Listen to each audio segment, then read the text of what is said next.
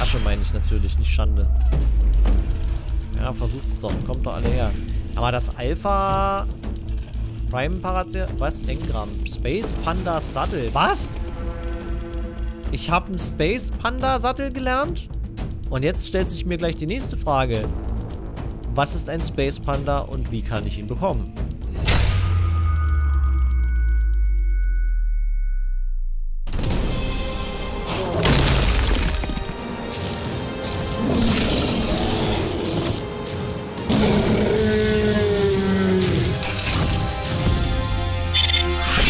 Moinsen und herzlich willkommen zurück zu meinem Let's Play Ark Survival Evolved mit der Mod Eternal von der Map Ragnarok. Unsere Giga-Drillinge sind erwachsen geworden und sind auch voll im Printed. Das ist der absolute Wahnsinn. Die sind jetzt allerdings noch nicht gelevelt. Ich habe mir jetzt gleich mal schon angeschaut, welches dieser Tiere die besten Werte hat. Und die besten Werte, meine lieben Freunde, ihr werdet es wahrscheinlich schon wissen, hat das Tier natürlich mit dem höchsten Level. Es ist ganz schön langweilig, aber so ist das. Ich sehe irgendwie voll putzig aus mit diesem Helm. irgendwie sehe ich so knuffig aus. Der Helm macht mein, Hol äh, mein Kopf so rund. Irgendwie. Ich weiß auch nicht. Sieht sehr schön aus. Ich mag diesen Helm. Ihr merkt schon, ich habe mich in diesen Helm verliebt. So, das ist nämlich dieser Giga hier, der in der Mitte steht. Giga Lea hat den höchsten Level bzw. den höchsten Mini-Damage-Wert von 3084. Und deswegen flößen wir Giga Lea jetzt gleich mal ein paar XP-Potions ein, damit wir Gigalea gleich mal gelevelt kriegen. So, gib mal hier, hier, bitteschön. So, was zu trinken, schön kredenzt hier, ja, 55 Level, bam. Und wir haben hier 8,7 Millionen Leben, das heißt, wir gehen hier mal jetzt auf 30 Millionen Leben, würde ich sagen. 30 Millionen Leben. Exakt und präzise genau, bis auf diese paar Werte hier hinten. Das äh, können wir ignorieren. Und äh, dann geben wir mal Mini-Damage. Und gucken wir mal, wo wir landen mit Mini-Damage jetzt. Bin ich mal gespannt. Wir landen bei 3860. Und wir können noch Punkte vergeben auf jeden Fall. Das ist noch lange nicht das Ende der Fahnenstange hier. Genau, oh Gott, ich muss erstmal einen Regen Potion reindrücken hier. So, bam. Limit. Genau, und ich würde sagen, wir leveln die jetzt auch gleich mal hier, die Gigalea. Die können wir mal gleich richtig leveln hier. Ah, genau, Moment, da gibt es noch eine andere neue Sache, die ich gerne mal ausprobieren möchte. Und zwar, meine lieben Freunde, ihr habt mir den Tipp gegeben, dass es, äh, wie man mich hier nicht sehen kann, wartet mal, so. Dass es bei S Plus, wie das aussieht, dass es bei S Plus eine Remote Control Pistole gibt, mit der man Tore und Türen aus der Ferne öffnen kann. Und dann habe ich mir gedacht, das klingt so cool, das muss ich unbedingt mal ausprobieren. Und deswegen habe ich die jetzt mal gecraftet. Das ist sie. Eine grüne Pistole. So, jetzt müssen wir mal gucken. Wie mache ich denn das? Wie benutze ich die denn? Deactivate. Ach so, ich kann mit Rechtsklick kann ich die Modi durchschalten. Door Mode. Aha. Nicht schlecht. Jawohl. Man muss natürlich das Tor auch treffen, ne, ist klar. Aber wenn ich jetzt... Ah, guck mal, ich kann auch so... Kann ich jetzt von hier das Tor zuschießen quasi? Hä? Es geht irgendwie nicht so. Nee, ich muss, glaube ich, absteigen. Vom Giga muss ich, glaube ich, dafür absteigen. Oder habe ich den Mode jetzt wieder resettet? Door Mode. Warum geht das jetzt nicht? Gerade eben ging es doch noch. Komisch. Sehr merkwürdig. Ach so. Ich muss schon... Also ich darf nicht zu weit weg sein. Ich muss schon ein bisschen näher dran stehen dafür. Okay. Kann ich das Tor jetzt... Ja, genau, okay. Ihr seht es schon, ne? Bei dem Tor da drüben klappt es auch nicht. Ich muss wirklich schon ein bisschen näher dran sein, sonst geht das nicht. Okay, dann wählen wir die mal, mal ab, so. Wir müssen ja nicht die ganze Zeit hier mit der Doorgun rumlaufen. Ich weiß halt nicht, ob das wirklich schneller ist. Man muss halt sich wahrscheinlich einfach richtig aufstellen, dann klappt das schon. Wenn man sich richtig positioniert, dann läuft das. Wow. Oh Gott, wie der Ankühler noch ins Bild reingeplöpst ist. Wow, wow, wow. Okay, ich würde sagen, wo könnte man am besten leveln als in der Wüste? Deswegen gehen wir jetzt hier mal mit Gigalea direkt in die Wüste hinein und, oh, jetzt keinen Fallschaden kriegen hier. Also ich kann natürlich Fallschaden kriegen. Ihr seht jetzt auch meine Gesundheit, ne? Guckt mal rechts unten, wie schnell die sich wieder regeneriert, ne? Das ist auch der Buff von der Eternal Armor und ich glaube, jetzt wo ich den Helm auch habe, geht das noch schneller mit dem Regenerieren. Das heißt, ich kann auch mal eine größere Menge Damage schneller gegenheilen. Das ist eigentlich gar nicht so verkehrt. Eine sehr nützliche Fähigkeit. Wenn ich das mal sagen darf. So, da haben wir gleich hier den Kano weggeschneckt. Wir brauchen ja auch noch Zeug. Wir brauchen ja noch Items. Ah! Eine Dodo-Weibern. Ja, komm mal gleich her hier. Du bist ein gutes Levelobjekt. Ja, genau. Und da ist es schon tot. Sie war ein gutes Levelobjekt.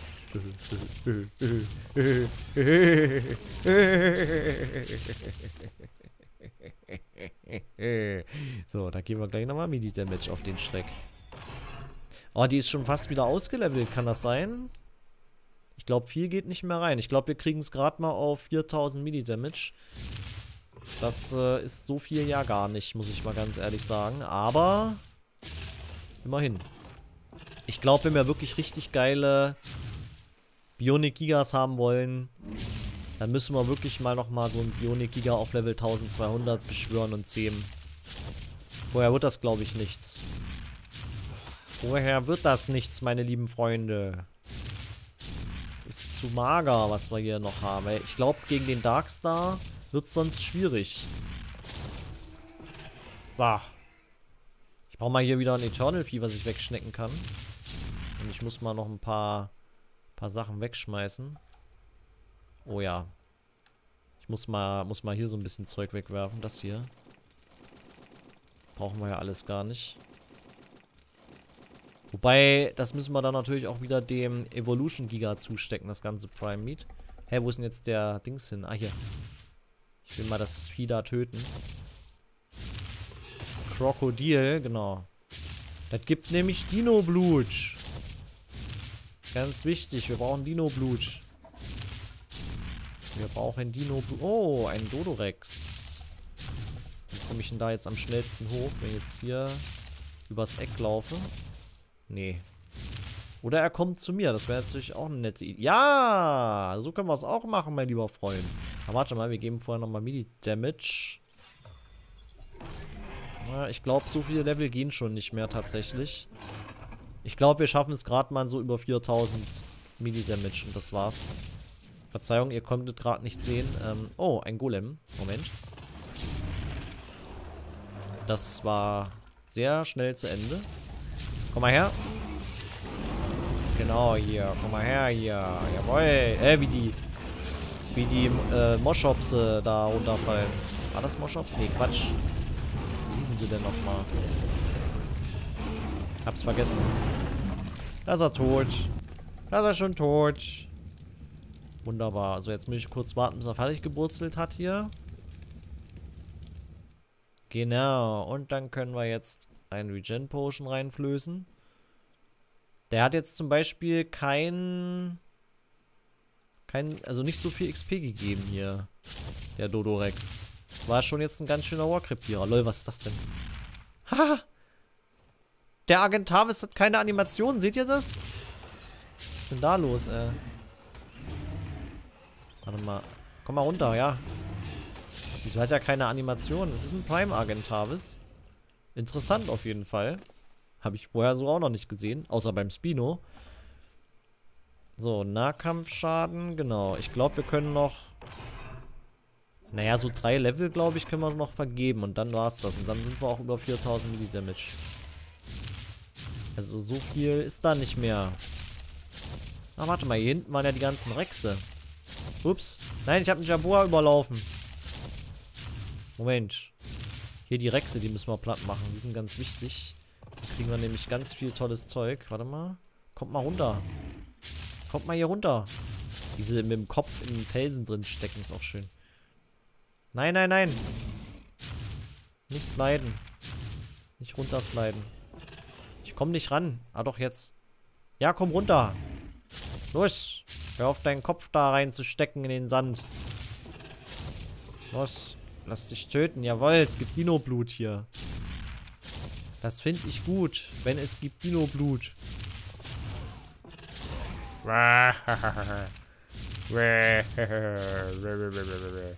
Oh ja, hier ist die Rexstraße. Hier kriegen wir richtig viel Dino-Blut. Guckt euch das mal an, meine lieben Freunde. Jawohl, der hat gar nichts gegeben, der kleine Schweinepriester. Habt ihr das gesehen? Jawohl. DNA. So, ich muss mal ganz schnell... Oh. Das macht ganz schön Aua hier, wenn der hier so brutzelt. Der Brutzler. Dreierbärensattel, das schmeißen wir mal weg. Die DNA, die schmeißen wir mal nicht weg. Die behalten wir mal. So, das kommt alles weg hier. Kibbel behalten wir mal auch. Dino Blut behalten wir mal auch. Die Rüstung kann weg. So sollen wir alles ausmisten hier zwischendurch. Denn wie gesagt, sonst kann er nichts mehr tragen irgendwann. Das wäre sehr tragisch. tragisch. Versteht ihr? Nichts mehr tragen. Leute, wie der Rex da liegt. er hat die Beine nach oben gedreht. So, oh Gott. Sieht überhaupt nicht komisch aus. So. Euch zwei hier schnecken wir auch noch weg. Jawohl. Juhu. Oh, das Faultier. Oh, der Dodorex. Warte mal, ich hab Bock auf Faultier jetzt gerade. Oh, das war's schon. Es hat überhaupt nichts gegeben. Garziges, äh, garziges. Geistiges. Nein, geiziges. Nicht geistiges. Ein geiziges Faultier. Okay, wir haben 4000% Mini-Damage. Ludorex lohnt sich nicht, den töte ich jetzt nicht. Der bringt kaum Leben und kaum anderes Zeug. Hier, ich töte lieber die. Das bringt mehr. Tylakoleo, oder? Ja.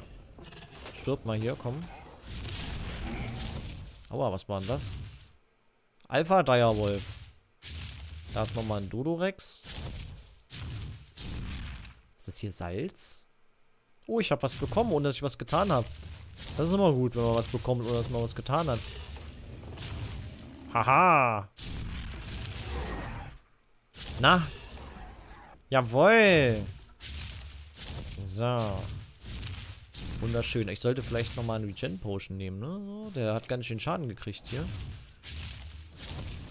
Wie er hier versucht, den Dödikukus zu fressen und es nicht schafft den eingerollten.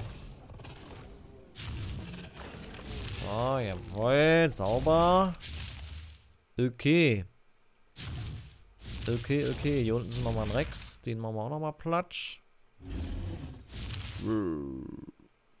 Was machen die denn da? Sieht ja lustig aus hier. Ja, genau. Alle zu mir. Alle zu mir, alle zu mir. Sauber. Ja, jetzt gibt es mal wieder ein bisschen mehr DNA, ein bisschen mehr Dino-Blut und so. Das ganze wichtige Zeug. Stirb. Jawohl. Ancient Orbs, sauber. Und du stirbst auch. Perfekt. Zwei Level. Okay, wir können doch noch ein bisschen mehr vergeben. Habe ich mich wohl verschätzt gerade eben.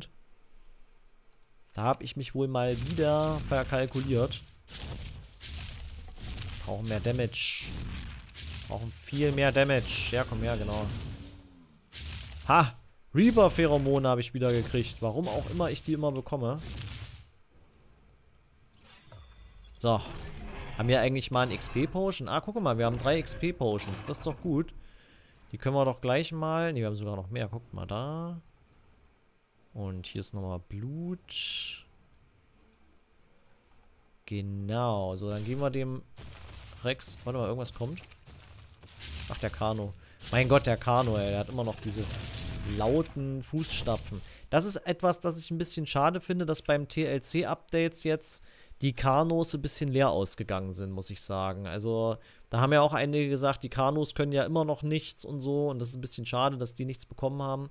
Finde ich, stimmt schon, ja. Also die Kanos, die hätten ruhig auch ein bisschen ein kleines Update noch bekommen können. Es hätte denen nicht geschadet.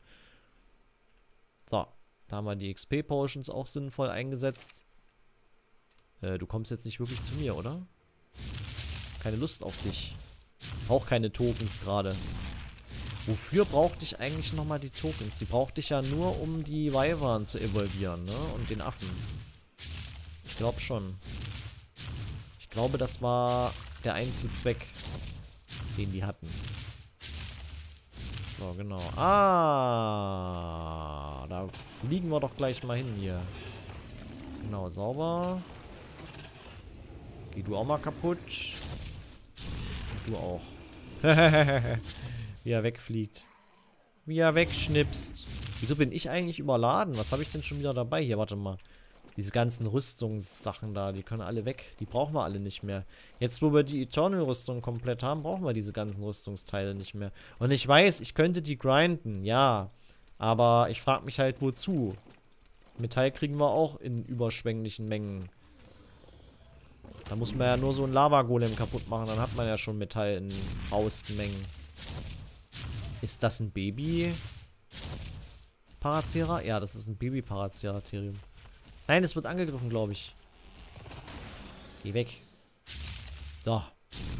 Nice. Haben wir noch ein Baby beschützt. Eine gute Tat am Tag muss immer sein, ne? Wunderschön. Und dann würde ich sagen, machen wir uns mal wieder zurück auf den Weg. Obwohl, wir sind immer noch nicht voll ausgelevelt, fällt mir mal gerade so auf. Wir müssen noch mehr leveln eigentlich. Den Wurm könnte ich noch töten, dann könnte ich auch gut leveln eigentlich. Ich bräuchte noch ein Würmchen. Was zum Teufel ist das? Es sieht aus wie ein riesiger, aufgerichteter, harter... Ich sag's lieber nicht. Was zum Teufel? Das ist kein Gegner oder so. Das ist nicht irgendwie ein, ein Wurm, der sich falsch positioniert hat. Das ist einfach nur seltsam. Wie? Ich meine, was ist es? Und wieso? Wie kommt das zustande? Und wer macht sowas? Und überhaupt? Und wieso? Und warum ist das einfach nur falsch, wenn ich das so sehe? Ich verstehe es nicht. Aber das ist ein Eternal-Vieh, was da so hockt, oder? Also, also was da drin steckt. Das ist kein, das ist nicht von der Map Ragnarok jetzt. Das ist von Eternal. Oder wie, oder was? Ich meine, es kann ja nicht von der Map sein, aber irgendwie ja doch schon, weil irgendwie reagiert es ja auch nicht, wenn ich hier beiße. Komisch. Sehr seltsam. Habe ich vorher noch nicht gesehen, ehrlich gesagt, sowas. Wahrscheinlich stürzt gleich mein Spiel. Ich wollte gerade. Gerade in dem Moment, wo ich sage, hat es gehakt. Ich wollte gerade sagen, es stürzt wahrscheinlich gleich mein Spiel ab. nee, alles ist gut. Noch ist alles gut, aber ich glaube, ich sollte hier danach gleich mal eine kleine Speicherpause machen. Damit hier nicht noch irgendwas schief geht. Oh, lol. Ja, moinsen. Darf ich mal eure kleine Party hier aufspringen? Sauber. Okay. So, wir brauchen noch, wir brauchen noch irgendwie einen Gegner, den wir töten können. Irgendwas Tolles. Irgendeinen tollen Gegner. Weiß ich nicht. Irgendwas, was viel XP bringt. Irgendwas, was sich lohnt zu töten. Ja, hier, das Alpha. Wow. Okay. Blitzespuckende Wölfe, interessant. Weiß, ich habe einen Archaeopteryx getötet. Schande auf mein Haupt. Asche meine ich natürlich, nicht Schande. Ja, versucht's doch. Kommt doch alle her. Aber das Alpha... Prime Paracer... Was? Engram. Space Panda Sattel. Was? Ich habe einen Space Panda Sattel gelernt? Und jetzt stellt sich mir gleich die nächste Frage. Was ist ein Space Panda und wie kann ich ihn bekommen? Space Panda. Space Panda Sattel. Okay, äh, was steht denn da? Space Panda Sattel. Kann nur hergestellt werden in Eternal Workbench. Okay. Ich habe ein neues Ziel in meinem Leben. Ich will einen Space Panda bekommen. Aber sowas von. Also, wenn ihr wisst, was es mit dem Space Panda auf sich hat, bitte lasst mich nicht zum Sterben. Erklärt es mir und sagt mir bitte auch, wie ich einen kriegen kann. Also ich werde auf jeden Fall nochmal nachgucken auf der Eternal-Webseite, was ein Space Panda ist und wie ich ihn kriegen kann. Wenn es da auch vielleicht noch nicht drin steht, weil das ganz neu ist. dann bin ich auf eure Hilfe angewiesen. Ihr könnt es mir schon mal schreiben, auf jeden Fall. Ich will wissen, was das ist. Ich will einen Space Panda haben. Das ist bestimmt das coolste Tier überhaupt. Oh, warte mal, jetzt ist ja ein Wurm. Der gibt doch hier immer schön Level. Guck mal. Jawoll. Da kriegen wir gleich Nacktkrampfschaden. Sauber. Wunderbar, wunderbar, wunderprächtig. Oh, warte mal, hier, die haben sich auch gerade schön in der Wolle. So, jetzt bräuchte ich noch einen guten Gegner. Vielleicht noch einen Wurm oder so. Den ich töten könnte. Und dann haben wir, glaube ich, voll ausgelevelt. Dann sind wir am Ende der Fahnenstange angekommen. Ich kriege immer schön viele Orbs. Das finde ich gut. Ich mache mal hier die Mantis platt. Die gibt auch ganz gut XP. Jawohl. Also. Melee Damage. Immer noch nicht voll ausgelevelt. Meine Fresse, okay. Können ja hier nochmal den Potion nehmen. Soll ich mal Drop All machen? Ja, ich mache, glaube ich, gleich mal Drop All. Ja, mal das raus und das raus. Alles fallen lassen. Genau. Hier, Fleisch kriegst du wieder. Und die Regen Potions kriegst du auch wieder. Jetzt haben wir wieder Platz. Okay. Also ich will unbedingt den Space Panda haben. Unbedingt. Und vor allem, warum kriege ich den Space Panda Sattel, wenn ich so ein Prime Faultier töte? Ist das Prime Faultier jetzt irgendwas ganz Besonderes? Oder kann ich vielleicht den Space Panda aus dem Prime Faultier evolvieren, wenn ich den so ein Infernal Potion gebe? Das wäre natürlich auch eine Möglichkeit, ne? Kann durchaus sein. Ich muss mich da mal schlau machen. Ich muss mich da mal zum Space Panda schlau machen. Space Pandas sind ja noch besser als Space Taxis, ne? Das wisst ihr. Okay. Ich würde sagen, ich gehe jetzt wieder zurück. Ah, warte mal. Zur Base. Jetzt machen wir es noch die Mantis platt. Und dann gehen wir zurück zur Base. Und dann mache ich mich mal schlau, was es mit den Space Pandas auf sich hat. So. Genau. Komm schon, wir brauchen noch ein Tier oder so. Ein Tier, was ich töten kann. Ein Eternal-Tier. Irgendwas Gutes. Manticore oder so. Das wäre nicht verkehrt. Oder sowas hier. Genau. Raptor. Komm schon. Ich muss leveln. Noch ein Level brauche ich. Noch einen. Also Damage-mäßig sind wir ja auf jeden Fall schon mal wieder gut dabei. Mit über 4000. Das ist schon gar nicht schlecht. So muss das sein. Oh, hier sind wieder die Pferde. Da gehe ich mal langsam. Ah, guck mal. Wer hier oben rumchillt. Wer hier oben einfach so rumchillt auf dem Plateau. Das geht ja mal gar nicht. Am Ende läufst du noch rüber zur Base. Komm, krepier. Stopp. Jawohl. Und das ist ein Level-Up. Sehr gut. Oh, das hat drei Level noch gegeben. Alles klar. Jetzt sind wir ausgelevelt. Alles klar, alles klar, alles klar. Wunderschön. Fast 4200% Mini-Damage. Nicht schlecht, nicht schlecht. Das ist gut. Und drei, 30 Millionen Leben, das reicht ja auch. So viel Leben braucht man ja gar nicht. Das habt ihr mir auch gesagt. Ich brauche nicht so viel Leben bei den Gigas. Weniger ist da mehr. Dafür mehr Mini-Damage. Dann kriegt man die gefährlichen Gegner nämlich auch schneller platt je mehr Mini-Damage man hat. Was? Mein Inventar ist zu schwer, um zu springen? Das kann alles nicht sein. Alles eine Lüge. Was habe ich denn hier dabei? Nameless Gift. Ach, diese komischen Spikes da von den Würmern. Ja, ganz viel Zeug. Das brauchen wir nicht mehr. Das produzieren wir jetzt. Das brauchen wir auch nicht erstmal. Das können wir auch wegwerfen. Den Sattel brauchen wir auch nicht. Kann ich mir jetzt bewegen? Okay, ich kann erstmal die Tür aufmachen. So, eintreten. Ja, ich kann mich ein bisschen bewegen. Lol, wie ich auch in Zeitlupe falle. Habt ihr das gesehen? Ah, ich habe jetzt die Waffe hier zum Tor zumachen. Haha. Nice. Jetzt mache ich mein. Jetzt schieße ich meine Tore nur noch auf. Meine Toren und Türe. Türen. Tore und Türe. Genau, hier. Bam. Bam. das ist irgendwie lustig. Okay, meine lieben Freunde, ich würde sagen, an dieser Stelle ist auch wieder diese Folge zu Ende. Wir sehen uns wieder in der nächsten Folge Ark Survival Evolved und dann weiß ich hoffentlich mehr zum Thema Space Panda. Bis zur nächsten Folge. Ciao, ciao!